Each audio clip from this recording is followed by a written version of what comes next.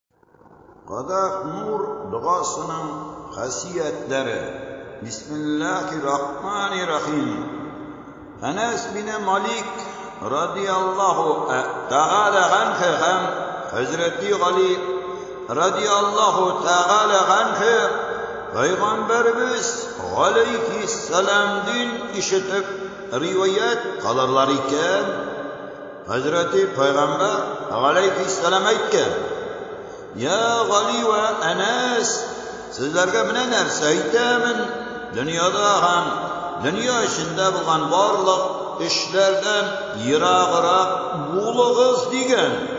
Хак Тәгалә Җәбраил галәйһиссәламгә шул Мигъраҗ кичәсендә шушы сүзләрне әйткән.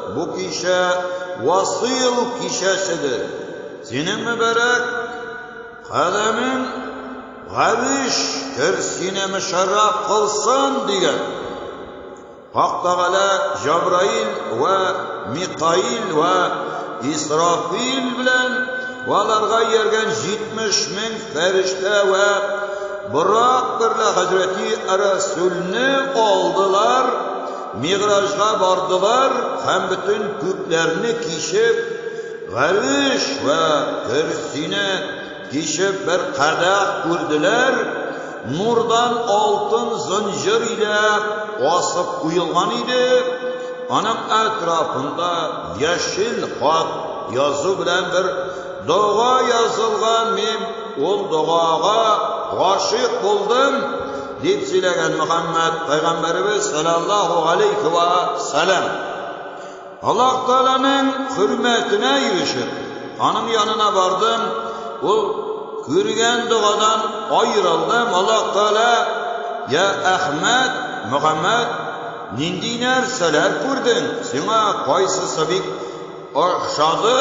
диде. Мин әйттем, Илаһым Сәиде вә Мәүле бер кадәх күрдем. Һәр җире Нурыдин яа салган, андыйн да гүзәл нәрсә күрмәдем, дидем.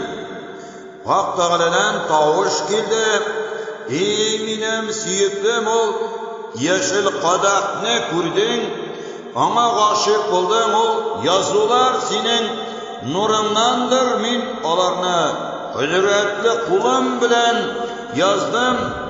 Җирләрне һәм күкләрне барлыкка китерүдән 500 ел элек аларны бар иттем, йә Мөхәммәд, ул кадәх, һәм бу дога булмаса, күкләр урынында тормаслар иде, җирләр үз урыннарында булмаслар иде, бу дога куәте белән Җәбраил күккә чыга һәм,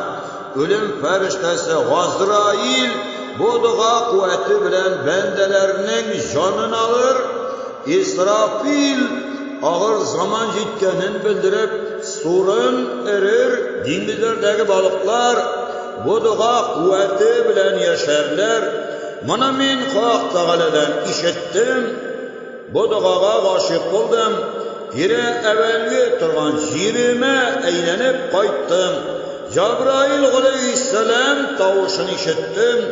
Җәбраил галәйһиссәлам миңа әйтте, Йә, Мөхәммәд, Адәм углы, күп нәрсәләр күрдең, кайсысы күңелеңә хуш килде? диде. Мин, И кардәшем Җәбраил!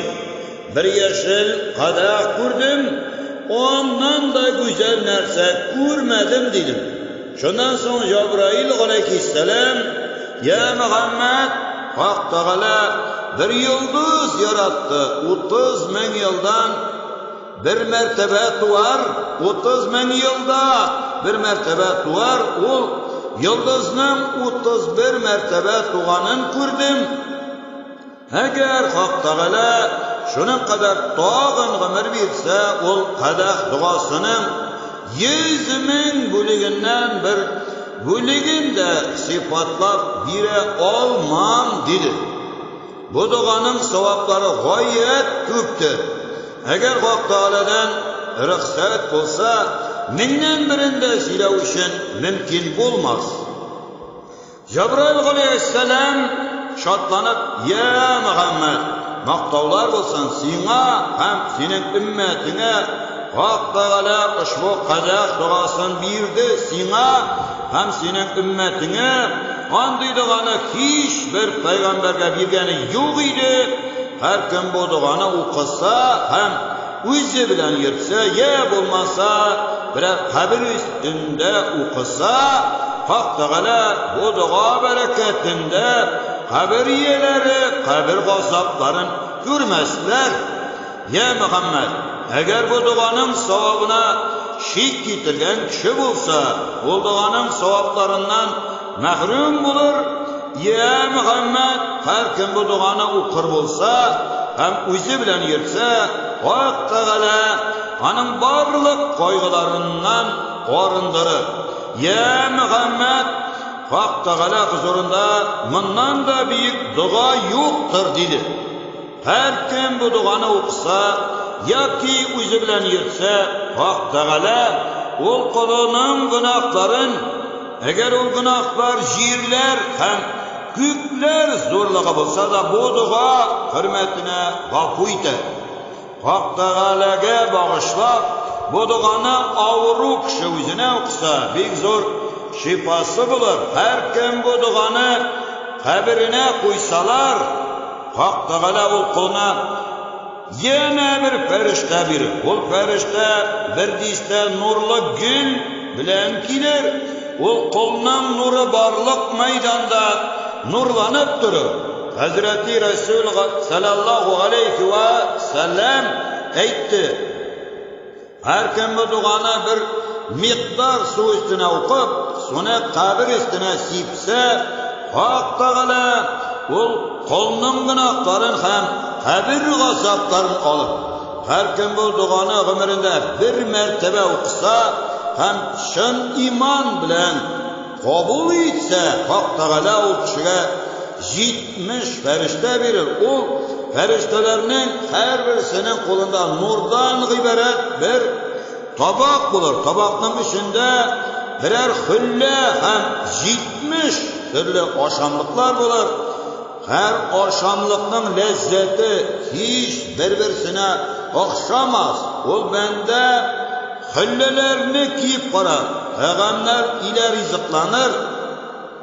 Вә дәхи бу бәндәнең нуры мәйданны яктыртыр, ул кадерле бәндә булыр, диде. Бәндәләр, бу нинди нурлы кешедер?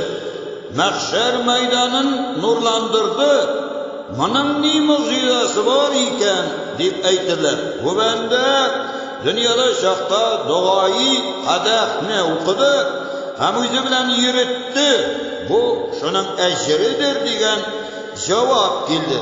Хак Тәгалә рөхсәте белән, Кабереннән кубачак ул колына оҗмах сарайларыннан бер бүлмә биреләчәк, анда көрсидә утырыр, аны фәрештәләр уң һәм сул ягыннан торып колыларлар, һәр көн бу дога бәрәкәтендә Хак Тәгалә ул колга җитмеш рәхмәт карашы белән Игътибар итер, диде Пәйгамбәребез Мөхәммәд саләллаһу гәләйһи вә сәлам. Әнәс бине Малик радиәллаһу гәнһ әйтте, Йә Рәсүлаллаһ!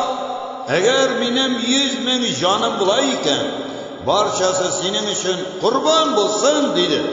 Мөхәммәд саләллаһу гәләйһи вә сәлам бу дога шәрхенең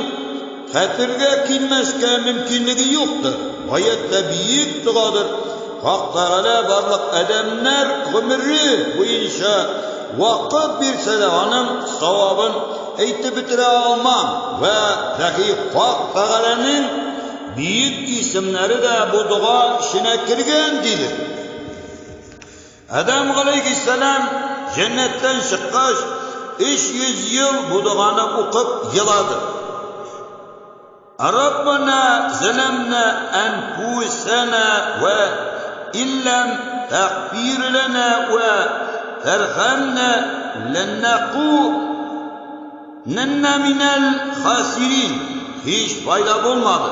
Хак Сөбхана вә Тәгалә Җәбраил фәрештәгә аңа барып әйтергә боерды, тагын өч йөз ел еласа, догай кадәхне яклап арага керүче итмичә чара юктыр, диде. Адәм галәйһиссәлам әйтте, Иләһи сәйиди, Мәүлаи бу догаи кадак өчен гөнаһымны гафу ит һәм тәүбәмне кабул кыл, диде. Хак Тәгалә кабул кылды. Гөнаһсын гафу әйләде. Барлык әнбияләр вә әүлияләр бу доганы яклап арага керүчене китерделәр, бу дога бәрәкәтендә морадларына ирештеләр. Йә Мөхәммәд! Бер кешенең дөньялыкта вә ахирәттә бер зур хаҗәте булса, ике рәкагать намаз укып, бу доганы күңеленә салып, Илаһи, Сәйди вә Мәүлаи бу дога хөрмәтенә хаҗәтемне син кабул кыл! дип әйтсә, Хак Тәгалә кабул кыла һәм тагын да берәр кешене үткәрә.